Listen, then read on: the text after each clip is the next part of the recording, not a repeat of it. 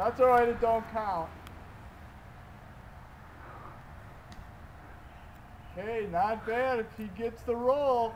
And oh, unfortunately, it didn't get over the hump.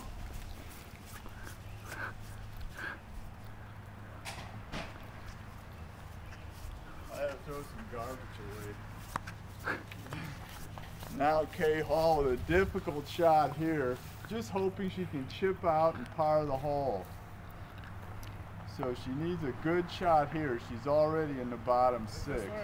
That one there.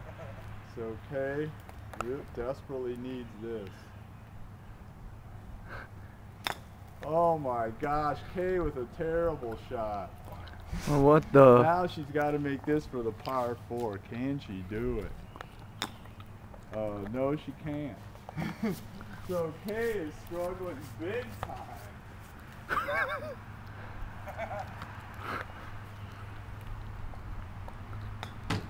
oh my god. That's a that's a five for Kay. Kay could end up in Jeez. Last place if this keeps up.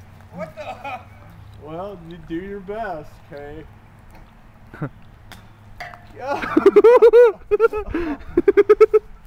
Are you Kay kidding? Fifth shot going awry. This will be her sixth one.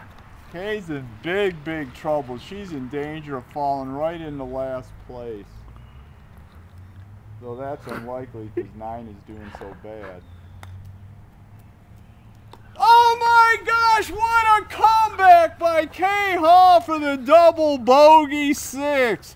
That'll give her 43 and she averts disaster. But she's still going to stay down for 16th or 17th. That